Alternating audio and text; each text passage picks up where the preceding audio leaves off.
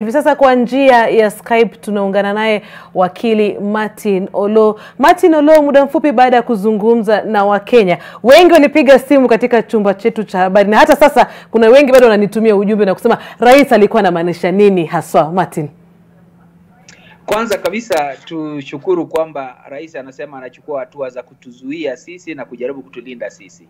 Pili, tuseme ya kwamba hajaondoa zile hatua zilizokuwepo za kafyu kuanzia saa moja hadi saa kumi na mbili kote nchini. Kafyu hiyo bado ipo. Tatu, amesema katika maeneo ya Nairobi na viunga vyake Thika, Machakos, uh, Kitengela, uh, Kiserian, Ngong, Ndenderu kule Lironi, Kiambu Town.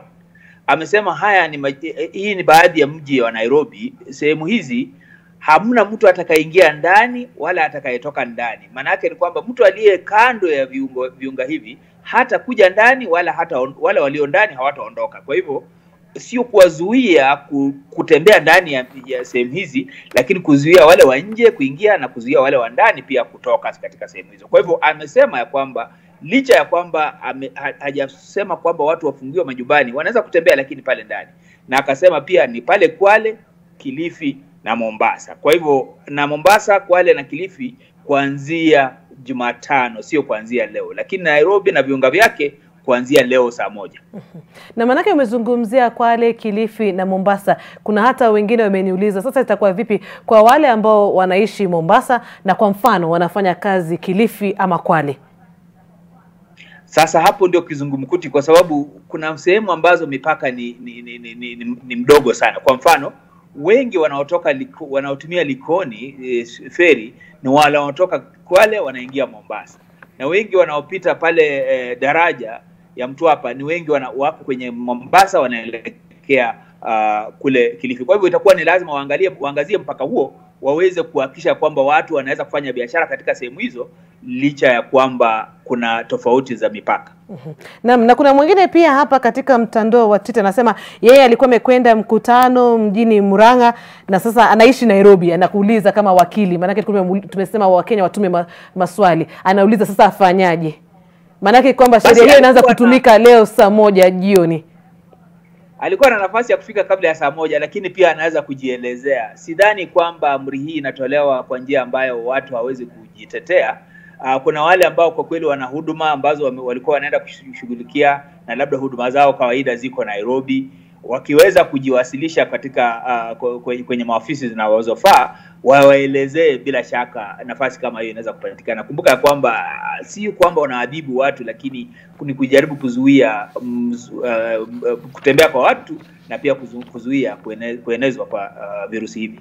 Naam, Bwana Martin, kuna mambo mengine pia rais amezungumzia kando na kusema kwamba watu wataruhusiwa kuingia au kutoka Nairobi na pia katika kaunti za Kilifi, Mombasa na Kwale kuanzia siku ya Jumatano. Amezungumzia swala la kuvaa kitambara cha kufunika mdomo na pua na kusema kwamba sasa ni lazima. Uh, kuna hayo mambo ambayo lazima ni, ni, ni, ni, ni sharti ni lazima sasa. Hapo mbeleni ilikuwa ni hiari yangu kama nitavaa hicho kitambaa mdomoni na kufunika mapua ama la. Sasa hivi ni lazima, na pia ni lazima kuongezea ile swala la kuweka mipaka kati ya kati yangu na, na yule mwingine mwingine uh, mita moja na nusu na pia kueneza kuendelea na zile mbinu ambazo tumeambiwa, kunawa mikono, kutumia sanitizer. Kwa hivyo hajapunguza chochote isipokuwa amekazia tu kwamba tusiondoke hapa tukaenda eh, makwetu. Kwa mfano sasa, katika siku ishirini na moja nisitoke hapa mimi Nairobi niende eh, nyumbani eti naenda kuwatembelea watu kule, kwa sababu wamesema shida iko Nairobi. asilimia tham- eh, asilimia eh, themanini na mbili ya matatizo ya virusi ni Nairobi. Kwa hivyo mimi nisitoke hapa niende kueneza kule kwingine. Swala lingine ambalo Wakenya wamekuwa wakizungumzia ni swala la kodi pamoja na ushuru, na hata leo rais mwenyewe amezungumzia na kuwataka wapangaji kuwa na utu na kuwaelewa wale ambao wako katika zile nyumba wapangaji. Kisheria, nini kinaweza kufanywa ama sheria gani inaweza kutumika kumstiri Mkenya kwa sasa, tukizingatia hali ambayo tuko ya korona? Uh, kwa kweli rais katika hotuba yake amesema kwamba wale wanaolipa kodi waendelee kulipa kodi na pia akasema kuna wale wanaofanya biashara ndogo ndogo, mama mboga na nini, waendelee kuhakikisha ya kwamba mboga na vyakula vinaendelea kuja, na wale wanafanya ukulima na wengine waendelee kufanya hivyo.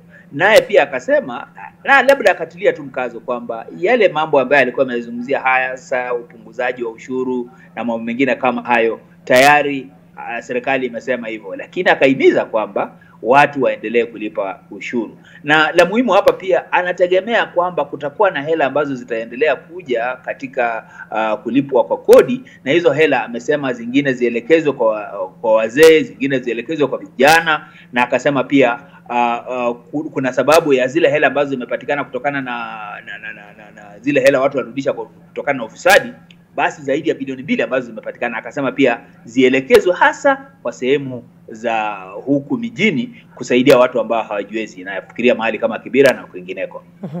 Lakini je, kuna sheria ambayo sasa inaweza kumshurutisha yule mpangaji aweze kupunguza kodi ya nyumba? Nafikiri ametoa wito kwa wenye nyumba waweze kupunguza, na tayari amepia amepia amewashukuru wale tayari wamesha wameshapunguza kodi, lakini kuna wengi ambao wanasema kuna baadhi ya mambo ambayo uh, rais anatakana afanye hivi kwamba aweze kuwapatia hasa wamiliki wa, wa, wa nyumba nafasi pia. Kwa mfano, kuna kodi ambayo wanaitishwa wao, uh, angelipunguza kodi hiyo basi ingekuwa na sababu ya wao pia kupitisha uh, nafasi hiyo kwa wale wapangaji. Lakini lililoko hapa ni kwamba tuko katika merikebu moja hii. Merikebu hii inaweza kuzama kwa sababu ya virusi hivi. Kwa hivyo tunaomba tuweze kusaidiana kama binadamu hivi kwamba tuweze kuishi maisha haya kwa pamoja. Naam, tukimalizia malizia tu, siku ya Jumatano tunafahamu kwamba wabunge watakuwa bungeni na wengi wanauliza siku yao, siku hiyo ajira yao kuu itakuwa gani?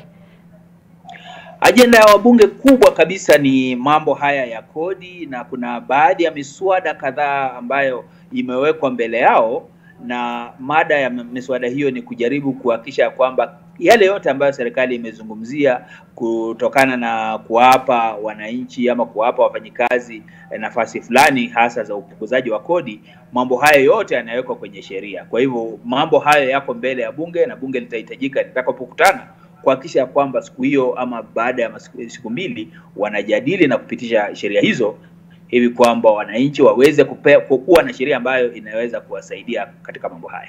Naam, Bwana Martin Oloo, maneno yako tu ya mwisho.